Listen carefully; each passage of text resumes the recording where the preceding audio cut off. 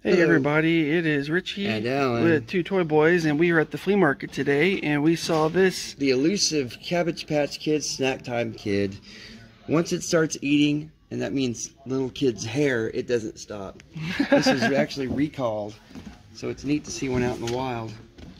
You put these little food in its mouth, Here, and, spin and the motor me? starts pulling it through, but it also Here, grab it, pulled little girls' hair through, and it would rip it straight off their scalp.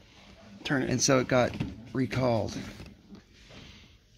Please do not open. That's that little girl's wearing a wig because all her original hair got ripped off by the Cabbage Patch Kid. I'm sure it's funny now, but it wasn't then. I'm sure. Yeah. Feed me. Hilarious. It's, it's that uh, giant plant from what's that movie? Uh, Feed me. It was uh Rick Moranis. yeah. Whatever. Feed me, buddy.